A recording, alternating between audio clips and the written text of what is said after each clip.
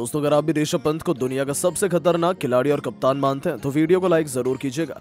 दोस्तों, दिल्ली के मैदान पर ट्रेविस हेड और अभिषेक शर्मा का बल्ला जमकर दहाड़ा। दिल्ली के गेंदबाजों की बेरहमी से कुटाई कर पूरा इतिहास पलट दिया। इन दोनों की बल्लेबाजी देखकर पूरा क्रिकेट जगत हो गया हैरान। तो आखिर कैसे अभिषेक शर्मा और ट्रेविस हेड ने दिल्ली के गेंदबाजों की करी बेरहमी से कुटाई? किस बल्लेबाज ने ठोके तूफानी शतक? किस गेंदबाज ने कराई दिल्ली की मैच में वापसी? दिल्ली के सामने हैदराबाद के बल्लेबाजों ने कितने रनों का रखा पहाड़ जैसा लक्ष्य? अब तक खेले गए इस मुकाबले की रोमांचक हाईलाइट तो हम आपको इस वीडियो में ज़रूर दिखाएँगे। लेकिन उससे पहले आपको क्या लगता है? दिल्ली कैपिटल और हैदराबाद में कौन होगा इस बार आईपीएल का चैंपियन नीचे कमेंट करके ज़रूर बताएँ। दोस्तों आईपीएल का सबसे ज़बरदस्त मुकाबला दिल्ली के अरुण जेटली स्टेडियम में सनराइजर्स हैदराबाद और दिल्ली कैपिटल के बीच खेला गया। इस मुकाबले में दिल्ली कैपिटल ने टॉस जीतकर पहले गेंदबाजी करने का फैसला किया और हैदराबाद टीम को बल्लेबाजी करने के लिए आमंत्रित किया। हैदराबाद की तरफ़ से ओपनिंग की शुरुआत करने मैदान पर ट्रेविस हेड के साथ अभिषेक शर्मा आए। वहीं दिल्ली की तरफ़ से पहला ओवर लेकर आए खलील अहमद और इनका स्वागत हेड ने दूसरी ही गेंद पर शानदार छक्का लगाकर किया और अपनी टीम का खाता खोला। इसके बाद भी ट्रेविस हेड रुके नहीं, अगली ही गेंद को उन्होंने चौके में तब्दील कर दिल्ली के स्कोर को तेज़ी से आगे बढ़ाना शुरू कर दिया। ट्रेविस हेड का बल्ला रुकने का नाम नहीं ले रहा था। खलील अहमद की चौथी गेंद को भी उन्होंने चौके में डील कर इस ओवर को बड़ा बनाने की पूरी कोशिश कर रहे थे। ट्रेविस हेड की बल्लेबाजी देखकर अभिषेक शर्मा भी रुके नहीं।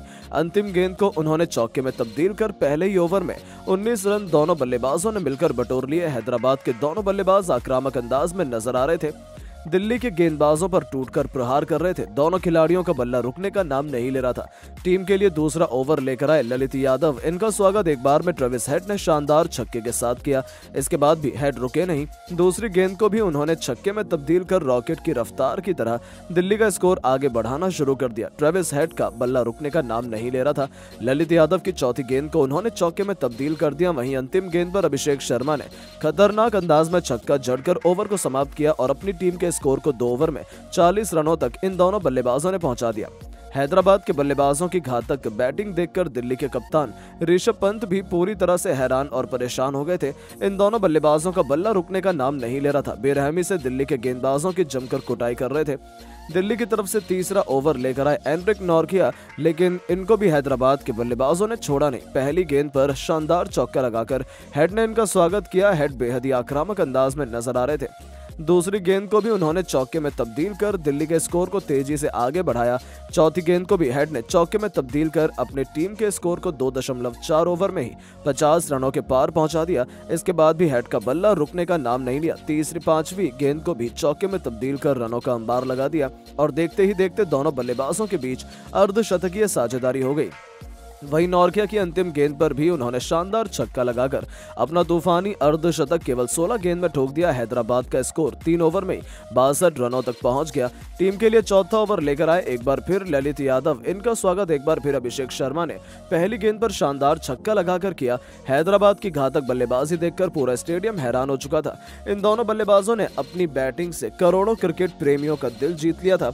इसके बाद भी अभिषेक शर्मा रुके नहीं। चौथी गेंद को भी उन्होंने छक्के में तब्दील कर दिया।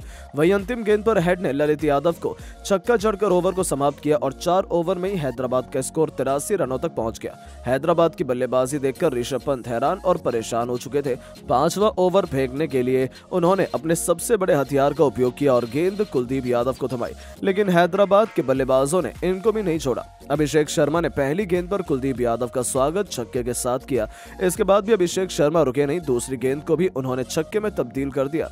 इसके बाद भी अभिषेक शर्मा का बल्ला रुकने का नाम नहीं लिया। ओवर की अंतिम गेंद पर भी शानदार छक्का लगाकर इन दोनों बल्लेबाजों ने अपनी टीम के स्कोर को पाँच ओवर में 103 रनों तक पहुँचा दिया। दोनों खिलाड़ियों के बीच 100 रनों की पार्टनरशिप भी हो गई, जहाँ ट्रेविस हेड 20 गेंद पर पाँच गगनचुंबी छक्के और सात चौके की मदद से बासठ रन बनाकर खेल रहे थे तो वहीं अभिषेक शर्मा दस गेंद पर पाँच खतरनाक छक्के और दो चौके की मदद से 40 रन बनाकर उनका साथ दे रहे थे।